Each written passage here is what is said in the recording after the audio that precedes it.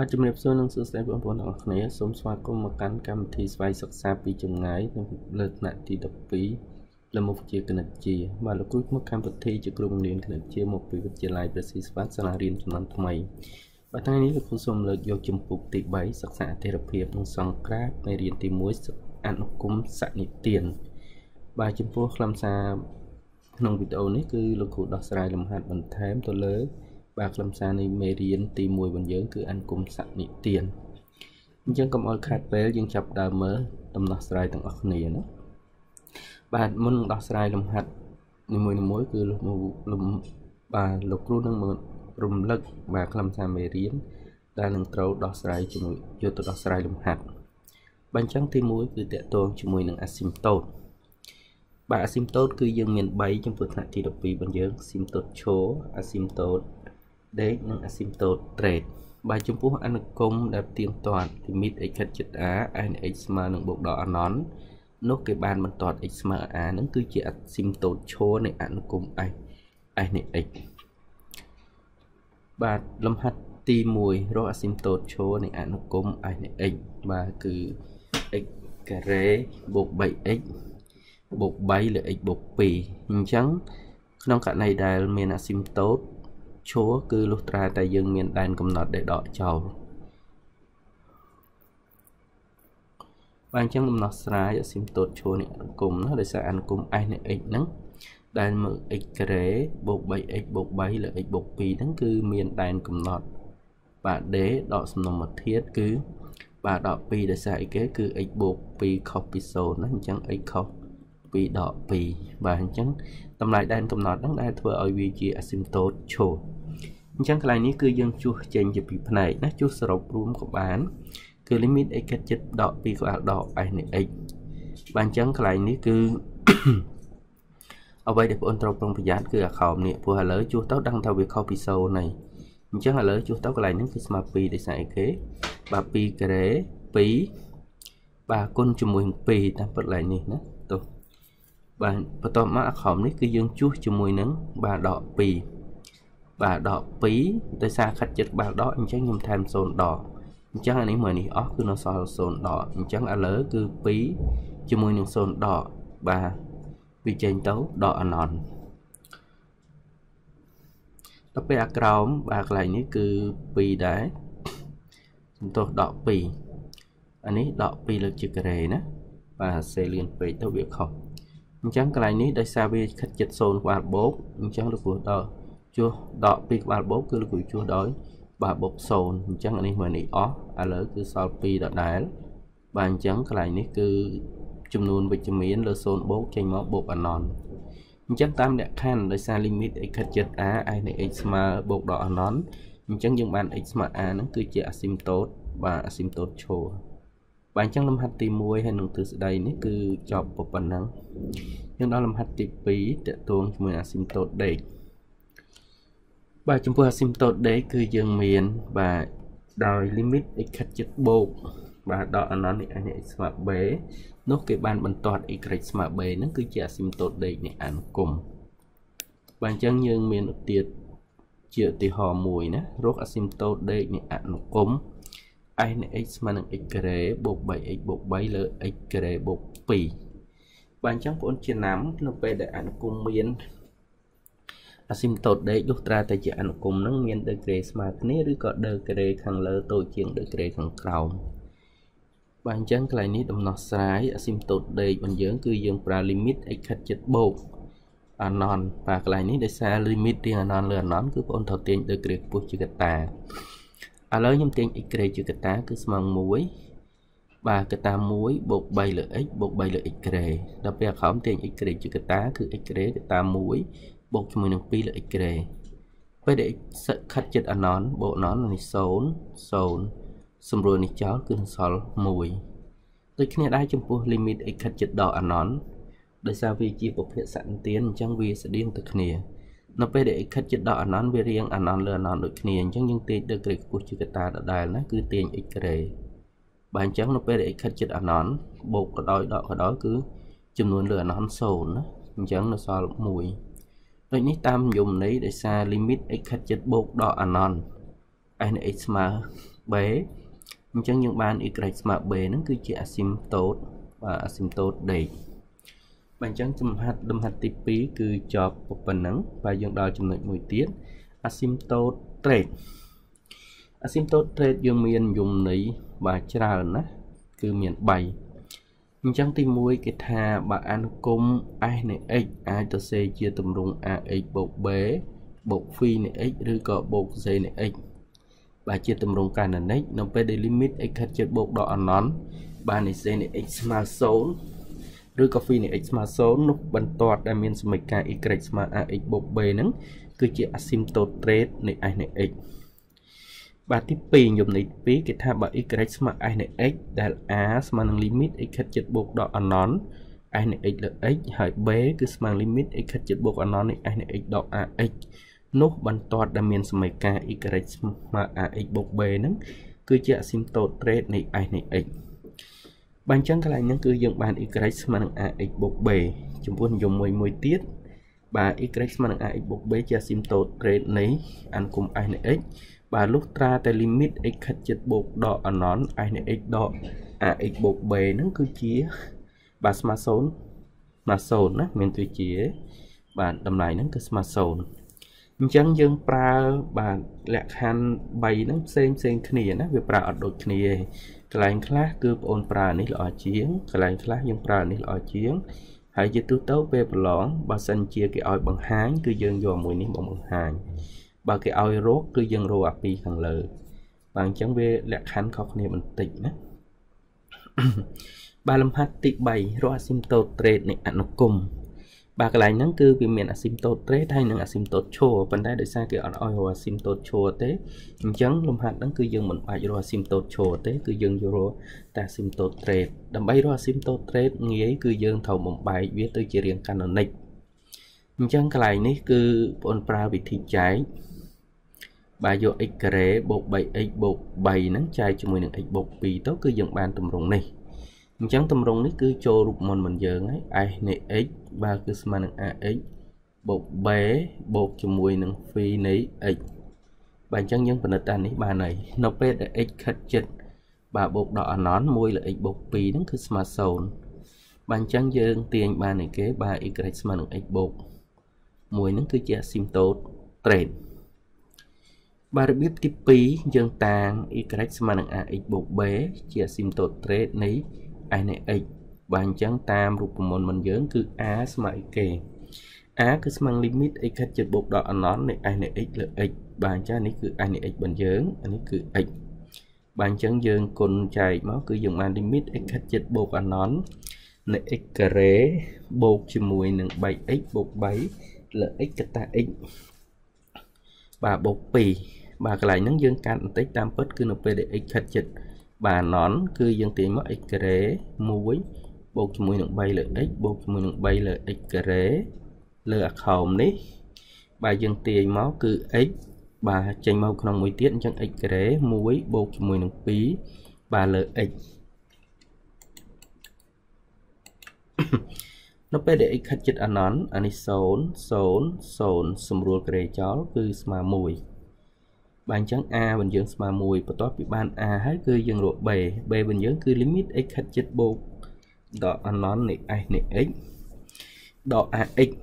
បាទអញ្ចឹងគឺស្មើ limit x ខិតជិតបូកដល់ anon បាទនៃ x ការ៉េបូក 3x បូក3លើ x បូក2ដកជាមួយនឹង x បាទយើងតម្រូវភាគបែងមកខាងនេះមកបាទគឺយើងតម្រូវភាគបែងអានេះគុណមកគឺយើងបានអីគេអានេះគុណនេះបាន x ការ៉េមួយ x ការ៉េអស់ អានេះគុណមួយនេះគឺបានដក 2x អញ្ចឹងដក 2x មួយ 3x គឺនៅសល់ x បាទរៀងមិនវាគឺ anon លើ anon អញ្ចឹងអានេះ0បាត0បាតគឺនៅសល់ x លើ x បាទគឺស្មើ1បាទអញ្ចឹងសមីការបន្ទាត់យើង y ស្មើនឹង ax បូក b a ស្មើ1 b ស្មើ1ដូចនេះ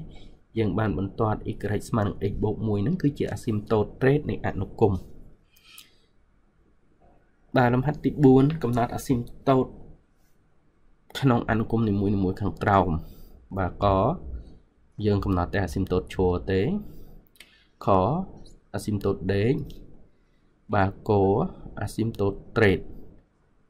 បាទអញ្ចឹងគឺយើងបង្ហាញណារកអាស៊ីមតូតទាំង3អាស៊ីមតូតឈរដេកហើយនឹងបាទ trade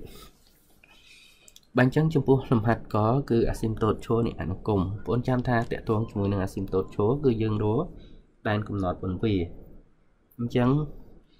បាទអនុគម s នៃ x ហ្នឹងមានដែនកំណត់ស្មើនឹង d បាទស្មើ a ដកសំណុំមធាតុគឺ1មូលហេតុអីបានអញ្ចឹងដោយសារនៅពេលដែល x មានន័យគឺបាទ x ដក1ខុសពី0អញ្ចឹង x របស់យើងគឺខុសពី1អញ្ចឹង d គឺស្មើ a ដកសំណុំមធាតុគឺស្មើបាទ1បាទដូចនេះគឺយើងបាន limit បាទជួសក្បាលបូកក្បាលដកចូលទៅ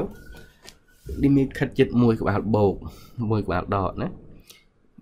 អញ្ចឹងកន្លែងហ្នឹង1ក្បាលដកគឺកាន់គេចង់បានប៉ុណ្នេះទេគឺជួស0ដកព្រោះឥឡូវជួសទៅដឹងថាខុសពី0នៃបើវិញជួសទៅគឺយើងបាន3អញ្ចឹង3ចែកឲ្យ0ក្បាលអីដក0គឺវាចេញដកអាណនបើចែកបូក0គឺវាចេញទៅបូកអាណនណាដូចខាងក្រោមគឺ limit x ខិតចិត្ត1ក្បាលបូកអញ្ចឹងយើងជួសឥឡូវជួសមួយដូចគ្នាប៉ុន្តែអាក្រោមនេះគឺវាមានអត្តពលណាអញ្ចឹង អានេះមួយនេះអស់គឺនៅសល់បូកបើអញ្ចឹងគឺ3លើ0បូកគឺវាចេញមកបូកអាណនបាទពេលខ្លះយើងដាក់ទាំងពីរតែម្ដងក៏បានអញ្ចឹងគឺយើងបាន limit x ខិតចិត្ត1 s នៃ x បាទគឺស្មើគេស្មើបាទអាណន x ខិតចិត្ត1 s នៃ x ស្មើអាណនអញ្ចឹងយើងបាន x ស្មើ1ហ្នឹងគឺជាអាស៊ីមតូតអាស៊ីមតូតឈរ ចំពោះលំហាត់ខខគឺបាទរកអាស៊ីមតូតដេកបាទចំពោះអាស៊ីមតូតដេកបងចាំហើយគឺលុះត្រាតែដេក្រេស្មើគ្នាឬក៏ដេក្រេអាលើតូចជាងអាខោមទើបយើងមានអាស៊ីមតូតដេកបើមិនអញ្ចឹងទេអនុគមនឹងនឹងគ្មានអាស៊ីមតូតដេកទេអញ្ចឹងកន្លែងនេះគឺ limit x ខិតចិត្តបូកអាណនយើងហៅម្ដងទាំងពីរទៅក៏បានឬក៏យើងចែកណា x ខិតចិត្តបូកអាណនបាទនៃ x ការ៉េបូក 2x បូក 3លើ x ការ៉េបូក1អញ្ចឹងកន្លែងនេះគឺ limit រៀងអាណនលើអាណនបងទាញទៅក្រេខ្ពស់ជាកតាអញ្ចឹងឥឡូវខ្ញុំទាញ x ការ៉េជាកតានៅសល់1បូក2លើ x បូក3លើ x ការ៉េអានេះទាញ x ការ៉េជាកតាមក1បូកជាមួយនឹង1លើ x ការ៉េពេលដែល x ខិតចិត្តអាណនម្ដងនេះ0 0 0បាទសម្រួលនេះចោលទៅគឺបាទយើងបាន1ដូចគ្នាដែរចំពោះ x ខិតចិត្តដល់អាណននេះ s នេះ x បាទគឺ limit x ខិតចិត្តដល់អាណនបាទកន្លែងនេះបាទលោកគ្រូទាញ x ក្រេជាកតាដូចគ្នា បានអានេះ x ក្រេជាកតា បាននៅសល់ប៉ុណ្ណឹងពេលដែលខិតចិត្តអាណនម្ដងនេះ0ម្ដងនេះ0សម្រួលចោលគឺវាស្មើ1អញ្ចឹងទាំងខិតចិត្តបូកអាណនខិតចិត្តដកអាណនបាទគឺវាស្មើមួយដូចគ្នាណាបាទអញ្ចឹងដូចនេះគឺយើងបាន limit x ខិតចិត្តបូកបាទដកអាណននៃ s នៃ x ស្មើមួយហ្នឹងគឺជាអាស៊ីមតូត បាទអាស៊ីមតូតដេកបាទចំពោះកបាទកគឺយើងមាន s នៃ x ស្មើនឹង x ការ៉េបូក 4x បូក3លើ x បូក2បាទកន្លែងហ្នឹងគឺគេដាក់ថា asymptote trade ហ្នឹងគឺគេឲ្យកំណត់ asymptote trade បាទអញ្ចឹង asymptote trade របស់យើងគឺស្មើអីបាទដំបូងគឺយើងបំបែកវា ទៅជារាងកាណូនិកសិនដើម្បីកណនី asymptote ហ្នឹងគឺយើងបំបែក បាទអនុគមទៅជារាងកាណូនិកអញ្ចឹងកន្លែងនេះខ្ញុំមាន i នៃ x ស្មើនឹង x ការ៉េបូក 4x បូក3លើ x បូក2អញ្ចឹង i នៃ x យើងអាចសរសេរជា x ការ៉េបូក 2x បូក 2x បូក4ដក1បាទលើ x បូក2បាទបន្ទាប់មកយើងបំបែកវា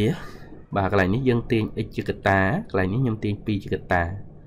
បាទបន្ទាប់មកផ្ដាច់វាជា2ណាផ្ដាច់តាមផ្នែកផ្ដាច់ព្រំនេះព្រំនេះអញ្ចឹងផ្ដាច់នេះសម្រួលចោលនៅសល់ x ផ្ដាច់នេះសម្រួលចោលនៅសល់លេខ2បាទបន្ទាប់មកដក1លើ x បូក2បាទអញ្ចឹងកន្លែងនេះគឺរាងកាណូនិករបស់វា គឺចេញតម្រង់អីគេ បាទ s នៃ x បាទស្មើនឹង ax បូក b បូកជាមួយនឹង phi នៃ x ឬក៏ c នៃ x កន្លែងហ្នឹងណាបាទដោយសារ limit x ខិតចិត្តបូកអណនបូកដល់អណននៃ s នេះ1លើ x បូក2ស្មើ0បាទអញ្ចឹងយើងបាន y ស្មើនឹង x បូក2ហ្នឹងបាទគឺជា asymptote trade បាទអញ្ចឹងគឺរបៀបទី1យើងអាចរកតាមនឹងបានណារបៀបទី2យើងតាំង y ស្មើនឹង ax បូក b បាទ y ស្មើនឹង ax បូក b ជាអាស៊ីមតូត្រេតនៃ s នៃ x ស្មើនឹង x ការ៉េបូក 4x បូក3លើ x បូក2បាទអញ្ចឹងគឺយើងរួមមក a a របស់យើងគឺស្មើបងចាំថាបើសិនជាអនុគមនឹងជាប់តម្លៃដាច់ខាតជាប់ឬការ៉េឬក៏អីយើងអាចរួមម្ដងទាំងពីរអញ្ចឹងយើងត្រូវបែកម្ដងបូកអណនដងដកអណន ប៉ុន្តែដោយសារនេះគឺជាភាគសន្តានអញ្ចឹងលោកគ្រូហៅទាំងពីរតែម្ដងដែល a របស់យើងគឺស្មើ limit x ខិតចិត្តបូកដកអណន i នៃ x ទៅ x បាទអញ្ចឹងអានេះគឺ i នៃ x របស់យើងបាទលើ x បាទបន្តមកយើងបានប៉ុណ្នេះអានេះដូចគ្នាគឺឥឡូវបងទាញ x ក្រេជាកតាណាទាញ x ក្រេជាកតានៅសល់1បូក4លើ x បូកជាមួយនឹង3បាទលើ x ក្រេអាក្រោមនេះបងទាញ x ចេញមកគឺយើងបាន x ក្រេ1បូកជាមួយនឹង2 លើ x នៅពេលដែល x ខិតជិតអាណនម្ដងនេះ0 0សម្រួលនេះចោលអញ្ចឹងយើងបាន1បន្តមកយើងរក b ណា b គឺស្មើនឹង limit x ខិតជិតបូកដល់អាណននៃ s នៃ x ដល់ ax បាទអញ្ចឹងកន្លែងនេះ i នៃ x ដក ax តម្រូវភាពបែងទៅកន្លែងនេះ x បាន x ក្រេមួយនេះអស់នេះបានដក 2x នៅសល់អីគេគឺសល់ 2x ណា 2x បូក3លើ x បាទបូក2អញ្ចឹងនៅពេលដែល x ខិតចិត្តអាណនបងសម្រួលនេះចោល បាទចម្លើយវាសល់2បាទដូចនេះយើងបានបន្ទាត់ y ស្មើនឹង x បូក2ហ្នឹងគឺជាអាស៊ីមបាទតូត្រេតនៃអនុគមបាទអញ្ចឹងរបៀបទី1និងទី2ចំពោះលំហាត់កបាទយើងដល់លំហាត់ទី5កំណត់អាស៊ីមតូតក្នុងអនុគមនីមួយៗខាងក្រោមដូចគ្នា ទី1គឺកំណត់អនុគមឈោអាស៊ីមតូតឈោទី2អាស៊ីមតូតដេកទី3អាស៊ីមតូតត្រេត ហើយចំពោះអានេះគឺពិសេសបន្តិចណាក្នុងសភៅក្រសួងអត់បានកែឲ្យទេនៅលោកគ្រូចង់បញ្ជាក់គឺលោកគ្រូដាក់លំហាត់នឹងឲ្យព្រោះមិញបាទលោកគ្រូបានជាក់ថានៅពេលដែលអនុគមជាប់តម្លៃដាច់ខាតឬក៏បាទឬការ៉េបាទយើងត្រូវបែងចែកលក្ខខណ្ឌច្បាស់បាទអញ្ចឹងកន្លែងនេះគឺយើងបានឯគេ ចំពោះលំហាត់កគឺយើងកំណត់អាស៊ីមតូតឈួរ អញ្ចឹងដើម្បីកំណត់អាស៊ីមតូតឈួរនៃអនុគមគឺបងអូនត្រូវដែនកំណត់អញ្ចឹងអនុគម s នៃ x ហ្នឹងគឺមានដែនកំណត់ស្មើ d s គឺស្មើ a ដកសំណុំធាតុបាទគឺលេខ5បាទអញ្ចឹង limit x ខាត់ចិត្តបាទ5ក្បាលដកបាទ5ក្បាលដករបស់យើងគឺ limit x ខិតជិត5ក្បាលដកនៃ x ការ៉េបូកបាទ 4x បូក4លើ x ដក5អញ្ចឹង5ក្បាលដកយើងជួសដោយបូក បាទជាមួយនឹង0ដកដក0ឥឡូវគឺយើងជួសបាន49អានេះទូទាត់ទៅអញ្ចឹងនៅសល់49លើ0ដក0បាទអញ្ចឹងគឺចេញដកអណនណាទី2គឺ0ក្បាលបូកគឺ limit x គិតជិត5ក្បាលបូក s នៃ x គឺ limit x គិតជិត5ក្បាលបូកនៃ x ការ៉េបូក 4x បូក4បាទលើ x ដក5អញ្ចឹងពួនជួសដល់គ្នាឥឡូវនៅ49ដែរ ប៉ុន្តែអាខោមគឺសល់0បូកអញ្ចឹង49លើ0បូកវាចេញបូកអណន្តបាទអញ្ចឹងដូចនេះគឺយើងបានឲ្យគេបន្ទាត់ដោយសារ limit x ខិតជិត5 i នៃ x ស្មើអណន្តអញ្ចឹងយើងបាន x ស្មើ5ហ្នឹងគឺជាអាស៊ីមតូតឈរបាទចំពោះលំហាត់ចំណុចខអាស៊ីមតូតដេកនៃអនុគមបាទអញ្ចឹងដេក្រេមិនវាស្មើគ្នាណាចំពោះពូនចាំដើម្បីរកអាស៊ីម ដើម្បីដឹងថាអនុគមមួយមានអាស៊ីមតូតដេកលុះត្រាតែបាទដេក្រេរបស់វាស្មើគ្នាឬក៏ដេក្រេអាខោមធំជាងបើដេក្រេអាខោមធំជាងស៊ីមតូតដេករបស់វាគឺ y ស្មើ0ណាមានតែមួយគត់អញ្ចឹងកន្លែងនេះគឺយើងរក limit x ខិតចិត្តបូក anon នៃ s នៃ x គឺស្មើ limit x ខិតចិត្តបូក anon នៃ x ការ៉េបូក 2x ដក3លើ x ការ៉េបូក x បូក1 បាទអញ្ចឹងយើងទាញដឺក្រេខ្ពស់ជាកតាឥឡូវទាញ x ការ៉េខំទាញ x ការ៉េដោយសារ limit រៀងអីគេរៀង anon លើ anon ណាយើងត្រូវទាញដឺក្រេខ្ពស់ជាកតាអញ្ចឹងពេល x ខិតចិត្ត anon 0 0សម្រួលនេះចោលគឺ1ដូចគ្នាដែរចំពោះពេលដែល limit x ខិតជិតដល់អណន i នៃ x បើនៅតែទាញដល់ក្រេខ្ពស់ជាកតាដដែលទេព្រោះ limit រៀងអណនលើអណនអញ្ចឹងកន្លែងនេះទាញ x ក្រេមកទាញ x ក្រេសម្រួលវាចោលពេល x ខិតជិតអណនអានេះ0 បាទម្ដុំនេះក៏0អញ្ចឹងចម្លើយវាគឺស្មើ1បាទអញ្ចឹងដោយ limit x ខិតជិតបូកដល់អណននេះ s នៃ x ស្មើ1អញ្ចឹងយើងបានបន្ទាត់ y ស្មើ1ហ្នឹង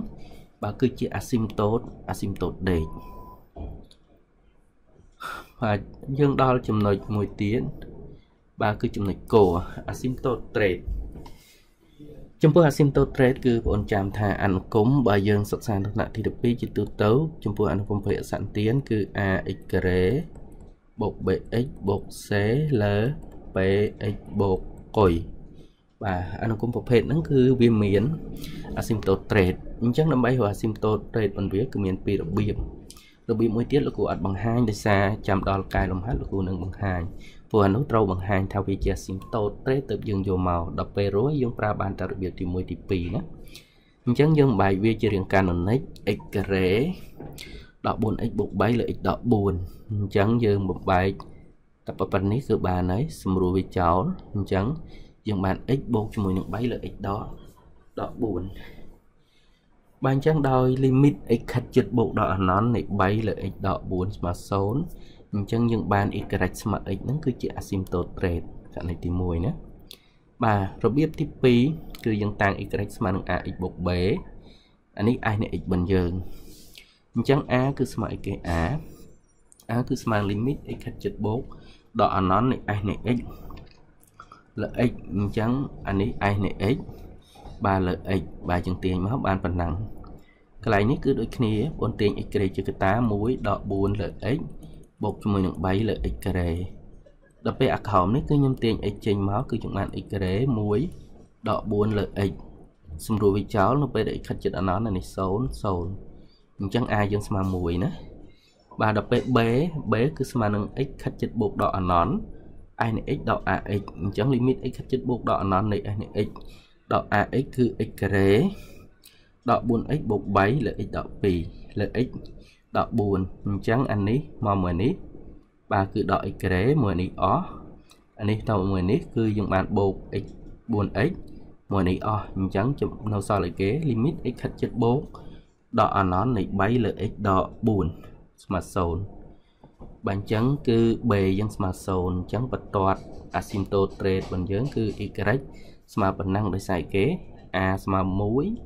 b ស្មើ0អញ្ចឹង y ស្មើ x គឺជា asymptote trade បាទលំហាត់ទី5ដដែលចំណុចលេខ2ចំណុចលេខ2គឺវាហឹងពិសេសបន្តិចណាយើងអត់អាចតាមពិតយើងអាចបំបាយជារៀងទម្រង់កាត់និចក៏បានដែរចំពោះសម័យកាលហ្នឹងប៉ុន្តែខ្ញុំរកតាមរបៀបទី2ណាបាទអញ្ចឹងគឺយើងតាំង y ស្មើនឹង ax បូក b ជា asymptote trade នៃអាហ្នឹង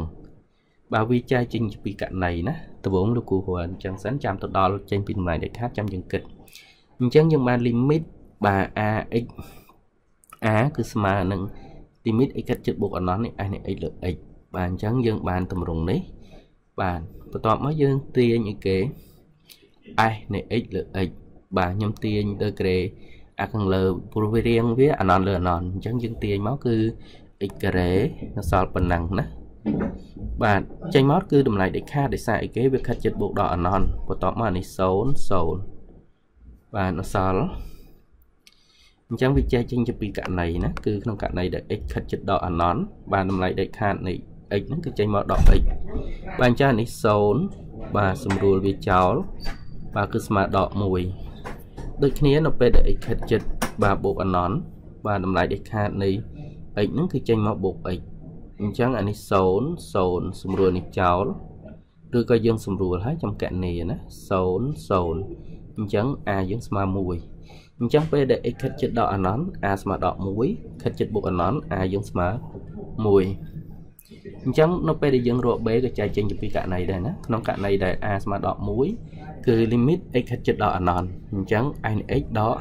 អានេះ បាទអញ្ចឹងយើងដោះស្រាយសមីការ limit ហ្នឹងមកគឺយើងគុណកន្សំឆ្លាស់ណាបាទដោយសារយើងមាន a បូក b បាទយើងត្រូវថែម a ដក b ឥឡូវគឺចូល a ការ៉េដក b ការ៉េណាសម្រួលវាចោលអាក្រោមយើងទាញជាកតាដោយសារ x ខិតជិតដកអណន្តបាទអញ្ចឹងគឺចេញមកបាទតម្លៃខាត់ដាច់ខាតហ្នឹងគឺដក x ប៉ុន្តែខ្ញុំទាញតែ x ជាកតាទេ បាទសម្រួលវាចោល x ខិតជិតអណន្ត0 0 0អញ្ចឹងឥឡូវគឺនៅសល់ បាទសល់អីគេអានេះ0 0 0អានេះ4អានេះដក2អញ្ចឹង4ចែកដក2បានដក2អញ្ចឹងបើ a ស្មើ1 a ស្មើ1ក្នុងករណីដែលអានេះខិតពីចិត្តបូកអណន្តបាទក្នុងករណីដែល x ខិតចិត្តបូកអណន្តបាទ a បញ្យើងស្មើ1អញ្ចឹងយើងយកជួសរក b ដែរមកបាទអញ្ចឹងយើងបាន limit x ខិតចិត្តបូកអណន្តនៃរីកទី2នៃ x ការ៉េបូក 4x បូក3ដកជាមួយនឹង x បាទអញ្ចឹងអានេះរៀងវាបូកអណន្តដកអណន្តដដែលអញ្ចឹងយើងគុណកន្សំឆ្លាស់បាទយើងមាន a ដក b អញ្ចឹងយើងថែម a បូក b ថែម a បូក b ដូចគ្នាណាបាទលើគឺចូលរៀងដោយសារ a ដក b គិតថា a បូក b គឺស្មើនឹង a ការ៉េដក 1b ការ៉េបាទអញ្ចឹងអានេះទូទាត់មួយនេះអស់បាទយើងទាញវាមកបាទឥឡូវយើងទាញ x ជាកតាណាទាញ x ជាកតាបាន4បូក3លើ x ទាញក្រោមទាញ x ជាកតាដោយសារ x ចិត្តបូកអណនតម្លៃដែលខណ្ឌ x ចេញមក x យើងទាញ x ជាកតាសម្រួលចោលបាទនេះ0 0 0អញ្ចឹងបាទ b របស់យើងគឺស្មើបាទ b របស់យើងគឺដូចគ្នាណាអានេះ0 0 0បាទអញ្ចឹង4 4លើម៉ាន4លើ2អញ្ចឹងស្មើ2បាទដូចនេះអាស៊ីមតូតរបស់យើងគឺមាន2នៅពេលដែល x ខិតចិត្ត បាទបូកដកអណអីខិតចិត្តដកអណនគឺវាចេញមកដក x បូកដក x ដក2ខិតចិត្តបូកអណនគឺចេញមកគឺ x បូក2បាទអញ្ចឹងកន្លែងហ្នឹងដូចលោកគ្រូបញ្ជាក់អញ្ចឹងនៅពេលដែលវាជាប់ឬឬក៏ជាប់ឡៃដាច់ខាត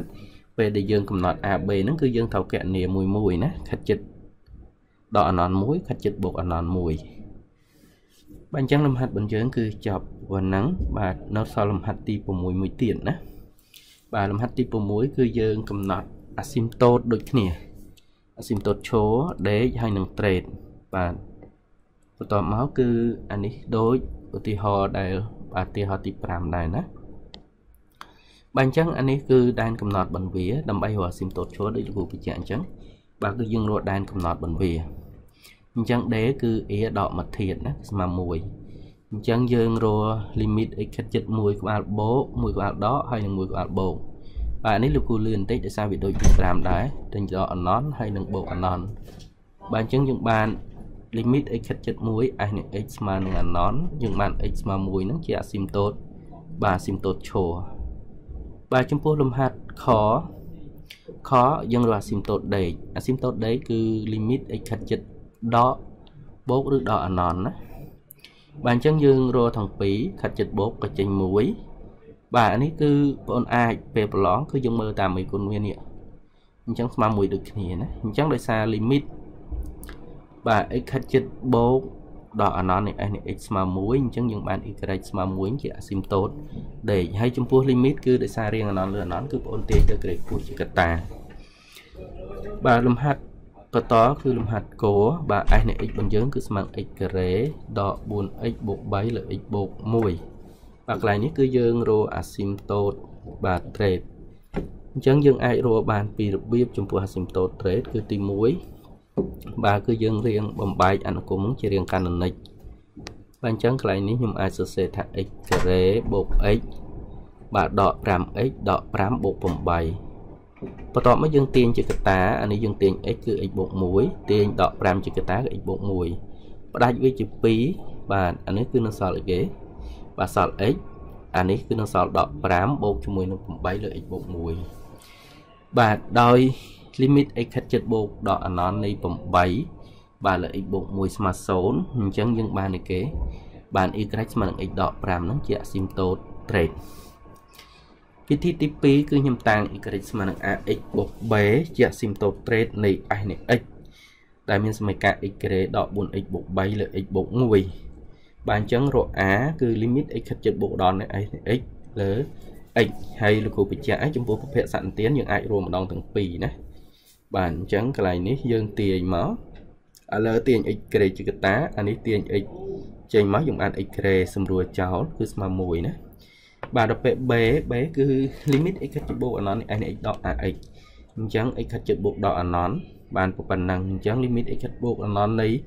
បាទនេះគឺយើងអាចទូទាត់ណានេះមួយនេះ x ក្រេមួយនេះអស់អានេះដក x បាទអញ្ចឹងបានដក 5x ដក 5x បូក3លើ x បូក1បាទសម្រួល x ចោលទៅបាទកន្លែងហ្នឹងមិនសម្រួលទេគឺយើងទាញ x ជាកតានេះសល់ដក5បូកជាមួយនឹង3លើ x ណាអានេះទាញ x ជាកតានៅសល់1បូកជាមួយនឹង1លើ x សម្រួល x ចោល0 0អញ្ចឹងចម្លើយរបស់វាគឺស្មើដក5បាទអញ្ចឹងបន្ទាត់ y ស្មើ x គេបាទ y ស្មើនឹង x ដក5ហ្នឹងគឺជា asymptote trait នៃអនុគមបាទលំហាត់ទី2ក្នុងលំហាត់ទី6លេខ2ក្នុងលំហាត់លេខ6ហ្នឹងគឺយើងមានអនុគម y ស្មើនឹងរឹសទី2នៃ x ដក 4x 3រក asymptote trade ណា បាទអញ្ចឹងរបៀបគឺយើងតាងដូចគ្នា y ស្មើនឹង ax បូក b ជា asymptote trade នេះអនុគម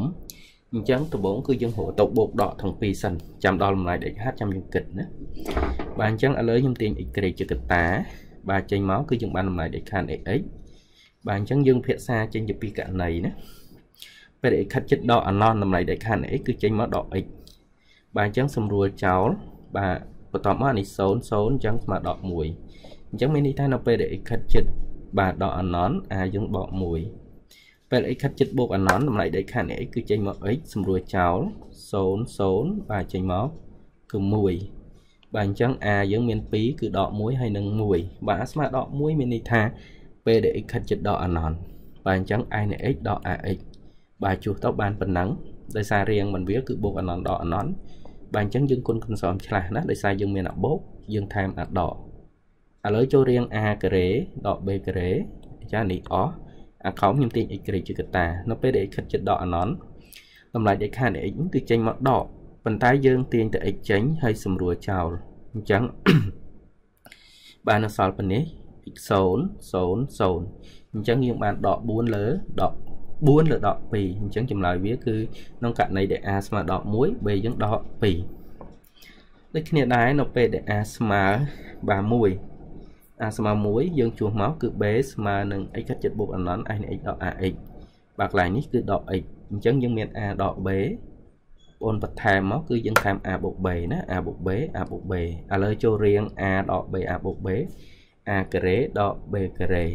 សម្រួលចោលនេះទាញចេញតម្លៃដេកខាតនៅពេលដែល x ខិតចិត្តបូកអណនតម្លៃដេកខាត x គឺចេញមកបូកខ្ញុំទាញ x ជាកតាសម្រួលចោល បាទយើងជួសចូលមកគឺយើងបាន limit x កាត់ចិត្តបូកអណននៃប៉ុណ្ណឹង4ដក3លើ x បាទនេះ0 0 0 4លើ2ស្មើ2បាទអញ្ចឹងដូចគ្នាក្នុងករណីដែល x ខិតចិត្តដកអណនអាស៊ីមតូតបន្វាគឺដក x ដក2 x ខិតចិត្តបូកអណនគឺ x បូក2 បាទអញ្ចឹងលំហាត់យើងប៉ុណ្ណឹងអ្វីដែលបងប្រយ័ត្នគឺនៅពេលដែលវាជាប់ឬឬតម្លៃដែលខាតយើងអត់អាចរកទាំងបូកទាំងដកមួយគ្នាទេប៉ុន្តែបើវាជាប្រភេទសន្តានយើងអាចរកបានណាបាទអញ្ចឹងសូមអរគុណចំពោះការយកចិត្តទុកដាក់ទស្សនាវីដេអូនេះ